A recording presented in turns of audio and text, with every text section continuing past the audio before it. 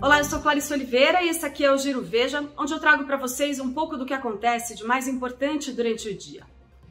Hoje, o ex-presidente Lula saiu em defesa de uma composição com Geraldo Alckmin na corrida presidencial deste ano, independentemente de o ex-tucano ser ou não o vice na chapa que vai ser encabeçada pelo PT. Lula fez essas declarações durante uma entrevista coletiva concedida apenas a veículos de esquerda, mas aproveitou para dar um recado para o seu próprio partido, já que existe um grupo cada vez mais forte dentro do PT trabalhando contra essa chapa conjunta. Lula explicou que uma composição ainda depende de uma série de fatores, como, por exemplo, da definição do partido ao qual Alckmin vai se filiar ou ainda do aval do próprio PT a essa candidatura.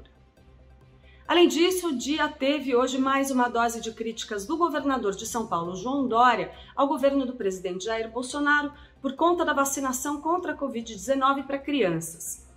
Dória disse que o Ministério da Saúde enviou ao Estado uma quantidade ínfima de doses pediátricas, equivalente a menos de 10% do que seria necessário para imunizar esse grupo.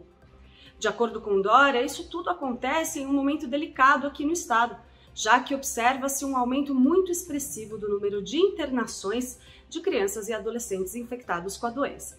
Você pode conferir mais informações sobre este e outros assuntos em veja.com ou eu volto com vocês amanhã com mais um Giro Veja. Até lá!